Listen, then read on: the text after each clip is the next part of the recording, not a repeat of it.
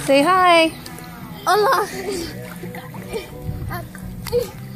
It's hard swimming slow. Exactly. That's what I was trying to do when I went back.